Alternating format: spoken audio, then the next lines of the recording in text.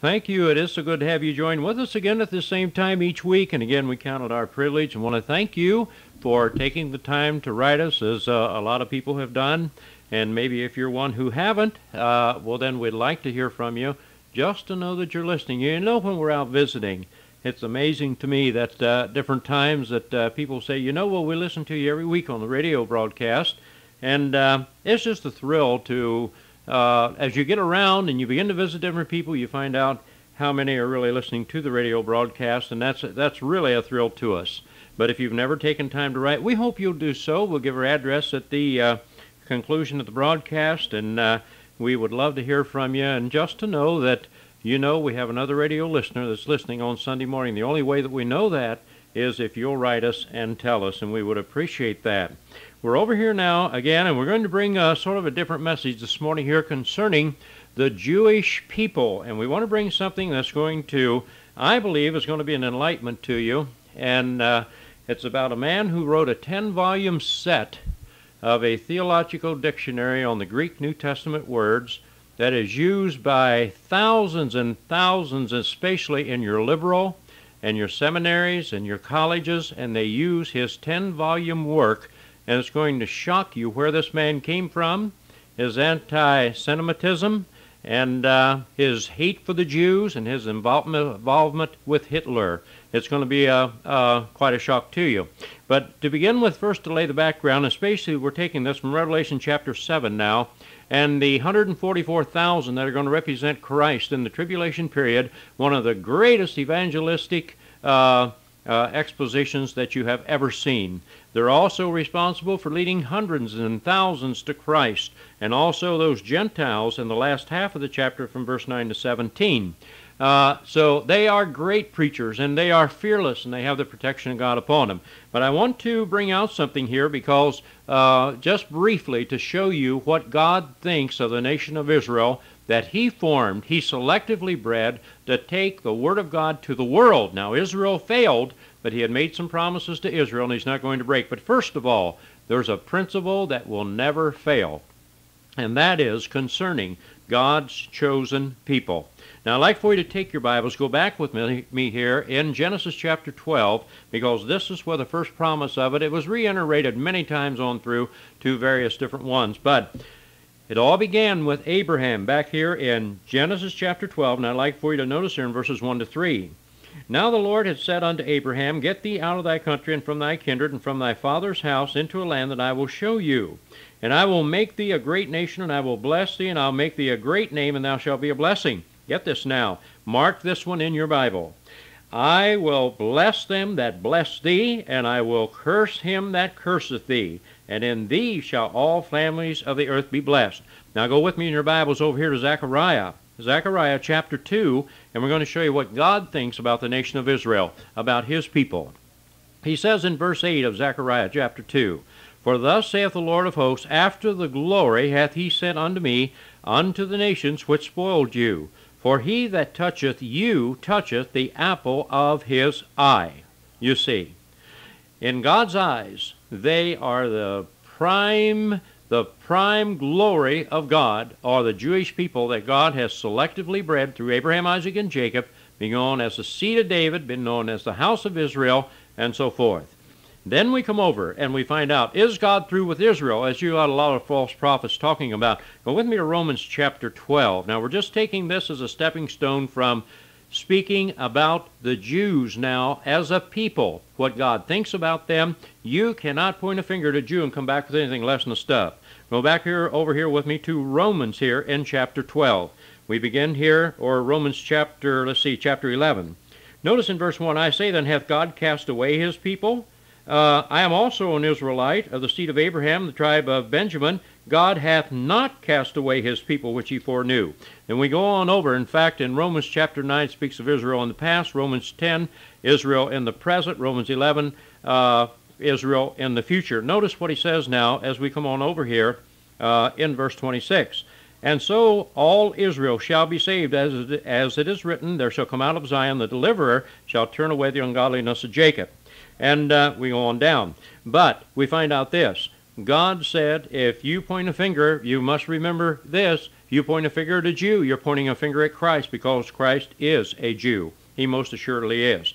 Now, I want to bring out something sort of interesting. We're going to divert from the Bible here a little bit and go back into some secular history here and give you some things that are current here, some things that uh, a little maybe before some of your time. If you're an older person, then it will be within your time. But I want to bring this out to you and uh, show you how deceiving O Satan is. We refer to a lexicon by a man by the name of Gerhard Kittel. His name is really a household word among New Testament Greek scholars. And Kittel edited, as we have said, the 10 volume standard reference work used in the New Testament Greek word studies. It's entitled The Theological Dictionary of the New Testament. Now, you're going to begin to see as we bring this out here and conclude with it, all of your new translations, your NASB, New American Standard Bible, your Living Bible, your your uh, Living Letters, your NIV, the New International Version, all of these come and have used the definition of the words given by Gerard Kittel. The NIV translators relied on its judgments when selecting words, as do most all translators. When a pastor or media preacher elaborates with reference to the Greek, it is virtually certain that he's citing a judgment about the correct meaning or choice of a word from this particular dictionary or in abridged uh, compendium, uh, which is adopted the citations. Uh, editors, the editors of the work remarked, and here's what they said. Of course, when they remark upon this, they're going to say very complimentary things, but here's what they said. The standard, that is, this set is a necessary for serious Greek students. The best New Testament dictionary ever completed. Every serious Greek student dreams of owning a set. Well, if you're going to publish it and you want the money off of it, that's exactly what you're going to say. But now, as we come on, we're going to uh, uh, find out a few things. Kittel's labors on his 10 volume Greek New Testament dictionary also began the same year he became, get this now, Hitler's hired man. Kittel was a German. Kittel's trial and conviction and imprisonment for his key part in the extermination of two thirds of Europe's Jewish population is a harsh fact, fact hidden to those pridefully seeking hidden meaning in the Greek. Interesting. In Gerhard Kittel, Satan found a man. He found a man who could destroy both the seed of Israel and the incorruptible seed. His writings, penned between 1937 and 1943, calls the physical death of millions of Jews and spiritual death of untold others. Using the cloak of Christianity and science, Kittel was the chief architect of the so called racial science and Christian base for Hitler's anti Semitism. Kittel is, as one man said, Kittel is even darker and more menacing than anyone I know the grim distinction of making extermination of the Jews theologically respectable. What one man wrote of him. Another scholar said, There was a cancer in the 19th century Germany. The German theologian Kittel had deteriorated to an unbelieving liberal, liberalism. Understanding the moral treason of churchmen required knowledge of the doctrinal state of men of much of Europe during the first four decades of this country, the satanic influence. And that's what he was. We go on and look a little bit more about him. Now you got to remember this is the man that all of your liberal preachers, you go to your pastor and ask him if he has a 10 volume set of Kittel's uh, theological word study here of the New Testament. The New King James Version and all new versions have abandoned the traditional Old Testament Hebrew uh, text and follow Rudolf Kittel's 1937 corruption uh, of his uh, of what he put out on his 10 volume set. What was the source of these bizarre notions of Aryan superiority and Jewish inferiority? Kittel's Völkisch mysticism and Hitler's occultism were at the root of their mutual anti Semitism. The United States Army, if you recall, discovered Hitler's library of personally marked occult books and noted that he kept a copy of Blavatsky's, and the name of that copy was The Secret Doctrine. She is the mother or the seamstress of the New Age movement that you have today. She formulated the Luciferian doctrines and the damnable doctrines that you have that is endorsed by Shirley MacLaine, Shirley MacLaine says, God is not our God, we are our God, you see. But the lady, you want to remember that name, Blavatsky, Madame Blavatsky. And uh, here Hitler was a student of hers. Hitler read all of her writings. Blavatsky's book was also used by the mystical societies of Germany after World War I and was perhaps a source of Kittel's anti Semitism as well as others. We come all over and find out. As early as 1909, Hitler joined the Anti Semitic Union. His speeches of 1919 and 1920 were peppered with this poison. And finally, on January the 30th, 1939, he told the world, In a new world, the Jewish race of, of Europe will be destroyed. One man notes that Kittel did see God's hand in the evaluation of Hitler's power. That's what he says. He thought he did. Kittel's defense during his trial for war crimes included his assertion that his actions had been imposed upon him by God, that God had done this uh, to him, and he was just following God's leading. What a deranged man. Theologian Martin Buber had said this. He said Kittel's work cannot be seen as anything but a satanic distortion of Christianity.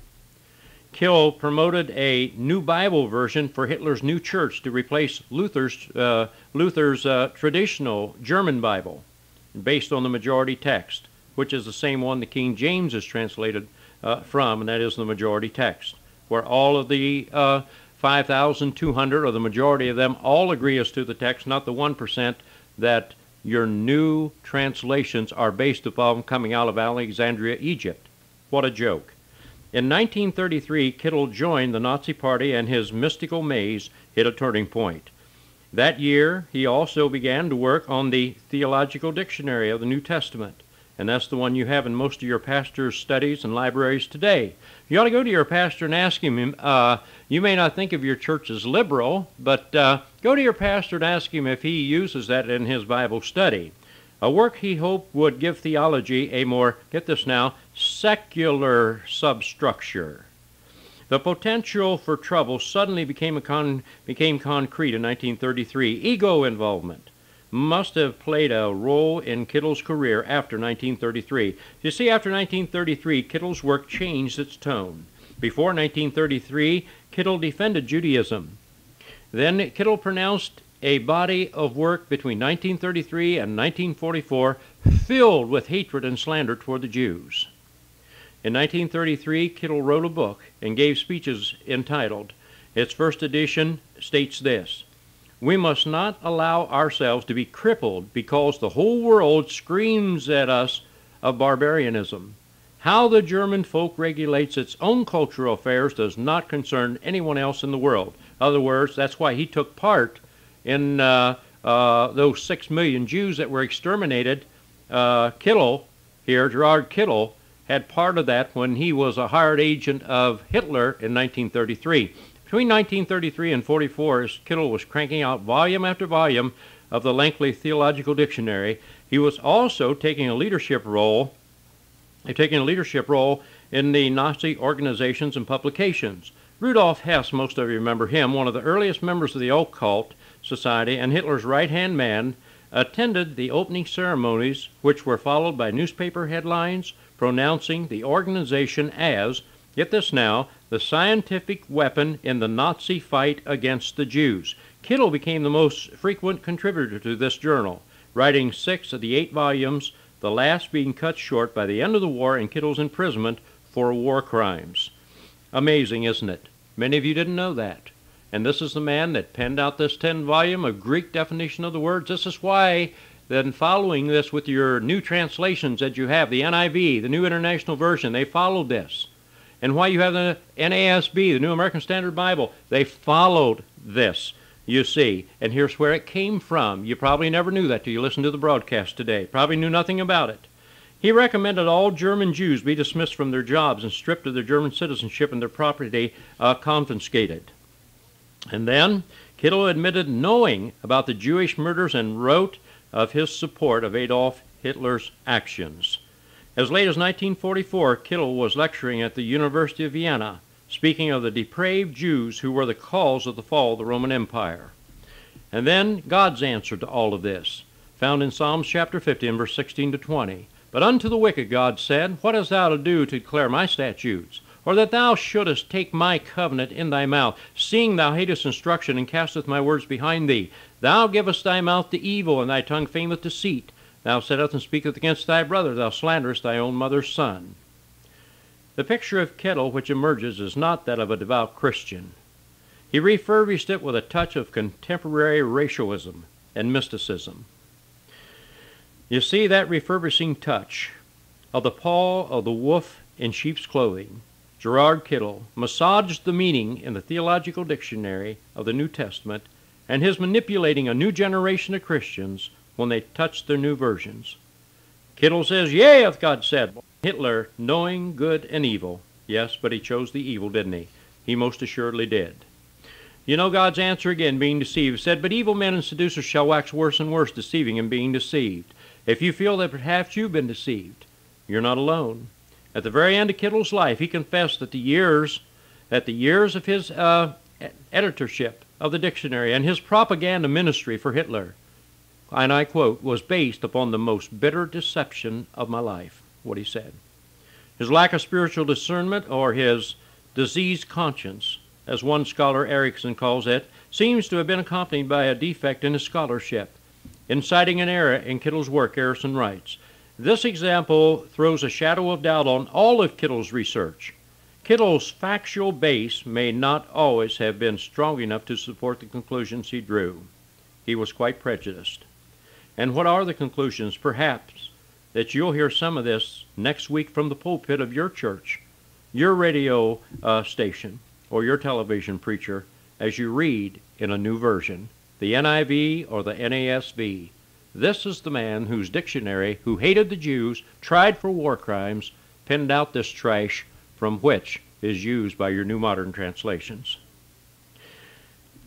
You know, the Greek and the Hebrew lexicons and dictionaries were written by men. We find out that they were, just as this man here penned what he penned. But you know what? It's sort of a shock, isn't it, to hear that it was put out by a man who was Hitler's aide, bought out by Hitler, and hated the Jews as he did. Ask your pastor if he uses a copy of that in his library today. Another thing we want to bring out here, if we have while we have time to do it, is about a man that was written about here in one of the periodicals. And the witnessing of these 144,000 is, is uh, enormous. And they were fearless. They went out and witnessed for Christ. Sometimes we think, oh, if I could only be well known or become famous, I could do a mighty work of God. But that's not the way God operates. His work is done by the weak, the little known, and God hath chosen the foolish things of the world to confound the wise, and God hath chosen the weak things of the world to confound the things which are mighty in 1 Corinthians 1.27. There is a reason for this, that no flesh should glory in his presence. We find in the Bible a little known man mentioned only twice in the Bible in Judges chapter 3 verse 31 and chapter 5 verse 6. His name's Shamgar. And his name means destroyer, and he certainly is not one of the Bible's greats. You wouldn't mention him in the same breath with Abraham, Isaac, Jacob. He's not listed in Hebrews chapter 11, the great faith chapter. He was not spectacular like Samson, who uprooted a city gate, nor Elijah, who prayed down fire, nor John the Baptist, who cleared the way for Jesus. No, Shamgar was just a little fellow mentioned only twice, yet his mighty work for God delivered Israel from her past enemies, the Philistines. This little guy, this little man, was the third judge of Israel after the death of Joshua. He served in a very difficult time. Judges chapter 17, verse 6 tells us that Israel had no king, and every man did that which was right in his own eyes. There was no open vision of 1 Samuel 3:1. The word of God was not proclaimed as it is now. It was a time of spiritual darkness and death. There was no great prophets during the time of the judges. Shamgar served the Lord in some really dark days. We likewise live in the dark days uh, right now. Men have sold out for money in politics and sports and even in churches. Think of that. The most crooked person in the world is the preacher who lets someone other than God be his boss. And let me say this ask your preacher if they send down his sermons most of your liberal churches, the uh, the headquarters sends down and says, "Preacher, you got to do this, especially around Christmas and around Lent." They all have their Latin message that's sent down from headquarters, and the the puppets have to preach what the strings that are being pulled by the hierarchies tell them to do. He preaches to please the liquor store owner, and he puts uh, a big offering in the plate, or he soft pedals God's judgment on other sins to avoid offending the big givers. Many ask, well, what can I do about the condition of the world today? I'm just one person. You see, Shamgar, Shamgar was like that. He was just one insignificant man, but this one man delivered the entire nation of Israel when he used an ox goad to kill 600 Philistines. You ought to read it in Judges chapter 3 and verse 31. Shamgar was not an army. He was just one person in a dark day, just like you and I are a person in a dark day today. You ask, well, what can I do? Liberalism is taking over the churches and denominations. The world's going to the devil. And that may be true, but you can be just as influential as Shamgar. Here is a great principle. In the days of darkness, God delivers his people through individuals. He may do it through one person. God needs individuals more than he needs denominations or great human organizations, more than he needs Congress or the United Nations. He's looking for that dedicated, concentrated, yielded men and women who will give their lives to him. Churches now become social clubs. I remember one, I know one lady in town, all I ever hear her talking about is well, they've asked me to do this for the supper, or they're going to do this, they're going to do that. I never hear anything about Jesus Christ. I wonder if they even talk about Christ. But I'll tell you one thing if you want to have a feast, if you want to have a, a feed, uh, you go there because they misnamed the church. It is the social club of town. It's not the church of the town. How they ever got church on the on the building, I don't know, because there's more social events than there is churches. But such a man was the renowned fiery minister preacher and his name was Sam Jones. He was a Methodist preacher.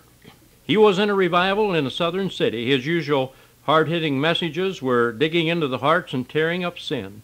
He preached against smoking and drinking and dancing and cursing, and he named them by name. All over town, church folks were getting stirred up. Their mousy ministers didn't meddle in their sinful lives this way because he, they were afraid they were going to lose some members. Finally, the Ministerial Association. Hey, we've got something here. They called a meeting. Something's got to be done, the president declared.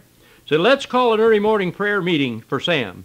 He's tearing our churches. He's tearing them up. He's offending our members. He's ruffling the fur of our people. We've got to do something about old Sam. We've got to get rid of that old boy. At the early morning prayer meeting, one dignified minister prayed. He said, Dear Lord, we pray that you will help old Sam calm down. Another petition, Dear Lord, we pray that Sam will not offend our members.